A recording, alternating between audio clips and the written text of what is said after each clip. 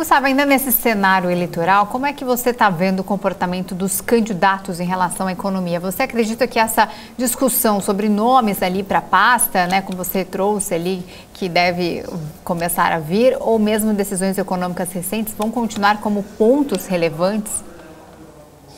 Eu acho que sim. A gente até escreveu recentemente que o grande importância nas eleições é o voto econômico, né? O que mexe muito na, na acho que vai mexer muito nos indecisos é, e, e, a movimentação entre votos vai se passar muito pela pauta econômica, que o que incentiva, na verdade, a população a votar é emprego, é inflação, é renda